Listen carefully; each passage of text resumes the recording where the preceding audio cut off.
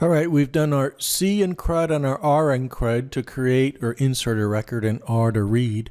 Now we need to allow people to edit, to make changes.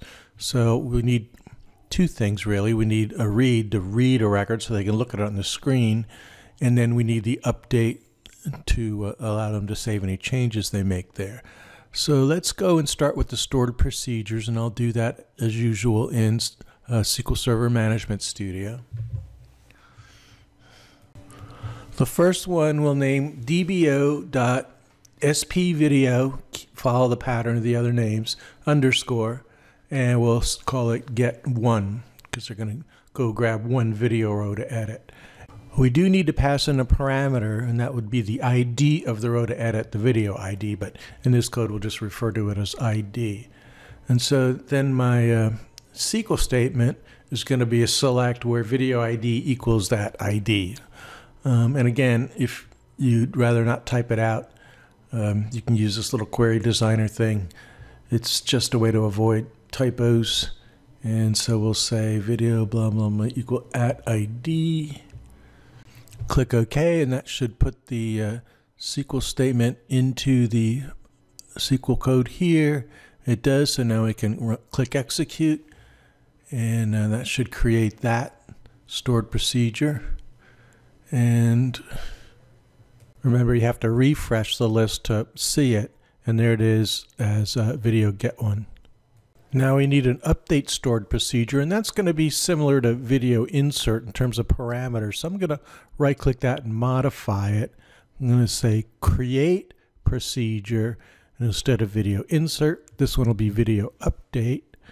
Um, we do need to pass in the ID of the record being updated. So that's at video ID, and that's an int. Remember, that's uh, SQL syntax up there. We don't want insert. Let me just take this whole thing out, and I'll design a new query. Okay, and uh, video table, title, blah, blah, blah, where video ID equals something. Uh, ID or something. Let's just put a 1 there for now. Take that off, change type to update values. That's what we want right there. Okay, click OK, it goes in there. Now we just have to flesh it out. Title equal at title. Remember these names here will just match the names up in the uh, parameters a few lines above this code. And publish will be at date publish is active will be at is active and one will be at video ID. And I do believe that will work for our update statement.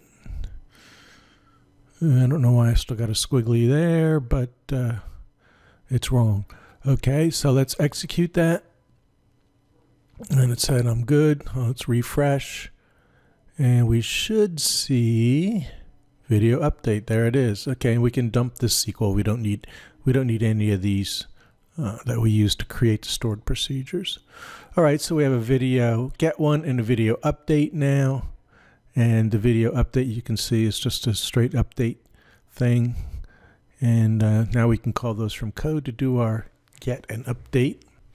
So let's leave SQL Management Studio, go back to our uh, Visual Studio app. So in the code, the get and the update will both be video services. So they go in the data folder under video service.cs. And every one of these CRUD things is going to end up there. Now the order of them in here really doesn't matter. So I'm just going to add this new one under video list. We'll start off with a little comment for future reference so we know what it's about. And now this syntax is going to be basically the same as the other methods in here. Public async task. It's going to return a video object um, because we're you know, we're, we're editing one video. And so we'll call this uh, video get one since you can name it whatever you want. It doesn't have to be that specific name. All right, and now uh, we need to pass out an integer ID so it knows which row to get out of the table. Inside here, we'll start by creating a an empty video object and we'll name it video. Okay, so the video object named video is going to equal a new video object. So it doesn't have any data in it or anything yet. It's just the skeleton for a video, a video row. All right. And now we're going to need some parameters. So we say var parameters equal new dynamic parameters, which is a dapper thing. Oops, I forgot the parens. To those parameters, we will add a parameter that will be the ID being passed in, and that's defined as ID in the first line, and then the database type is going to be integer 32. And now we need this using code to get our uh, database open and get our connection going. We'll just put all that in there. And instead of videos, it's going to be video singular because we're only returning one. And for this sort of thing, we would use um, query first or default in Dapper, I think. So let's say uh, query first or default async. We know we're only getting one record, so query first or default works for that. And then we have to say of type video.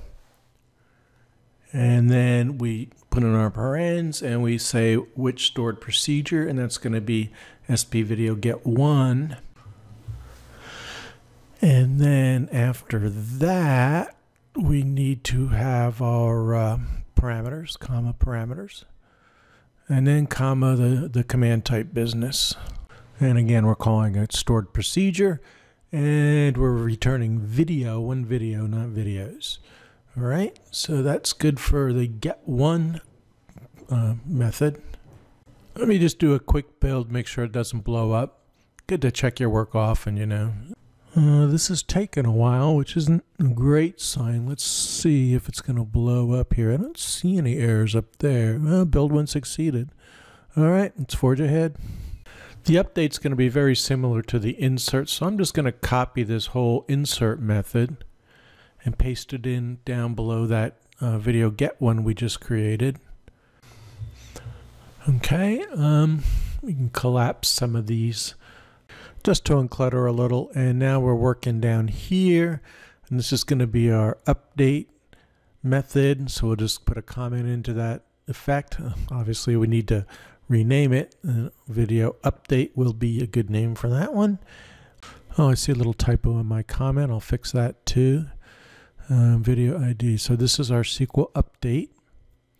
Um, this is all good. We do need to pass in an ID though to identify which video to update. So we'll just add that as a parameter.